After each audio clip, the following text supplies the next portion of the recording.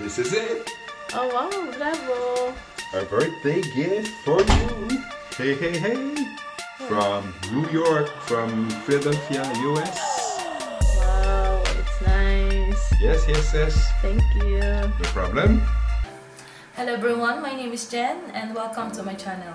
Today we're gonna talk about how to verify your verification PIN in your Google AdSense account. Yes guys, na-receive ko na yung PIN ko. So I received this one.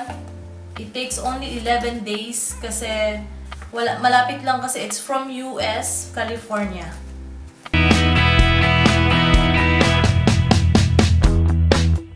Gaano nga ba kahalaga guys itong PIN na to?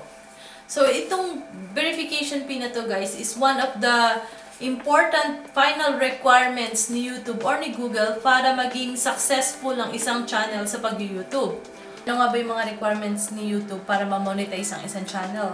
So, first, you need to have uh, 1,000 subscriber. Second is you should have 4,000 watch hours and uh, equivalent to 240,000 watch minutes in within 12 months. So, kapag na-reach mo na yung two requirements na yun, magsasend sa'yo si uh, Google or si YouTube ng message na under review na yung channel mo. So, within 1 to 3 days, kapag walang problema yung channel mo, ma-approve na siya. So, paano mo nga ba malalaman na approve na yung channel mo? First, magge-generate na siya ng mga ads. So, yung mga videos mo na less than 10 minutes, automatic meron na siyang ads. Pero yung mga videos mo na 10 minutes ab ab above, ikaw yung magge-generate ng mga ads niya. So, ilalag ikaw yung maglalagay ng mga ads niya sa places. Tapos, meron kang marireceive na email uh, na galing kay YouTube as well na monetize na yung channel mo. So, kapag na-monetize na yung channel mo, everything is settled. Kapag na-reach mo na guys yung verification threshold niya na $10, magsasend sila sa'yo ng mail yung mail na to is included, ito yung meron siyang password na 6 verification PIN number. So, ito yung PIN number na to is para ma-verify yung account mo. So, when do I need to enter the PIN? You have 4 months guys once na-generate yung first PIN into your account. So, kung hindi mo pa na-encounter yung PIN, uh, the ads will stop uh, showing into your pages. So, within 4 weeks at hindi mo pa nare-receive yung PIN by mail, pwede ka naman mag-request ng uh, replacement.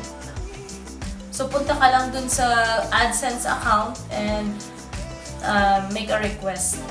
After mong ma-enter yung PIN, guys, next is yung threshold niya. So, you need to reach what, uh, $100 threshold para makasweldo ka sa YouTube.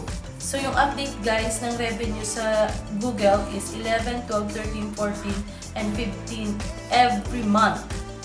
And yung salary naman guys is every 22nd of the month. So, i-guide ko kayo guys paano nga ba i-verify yung PIN natin sa inyong Google account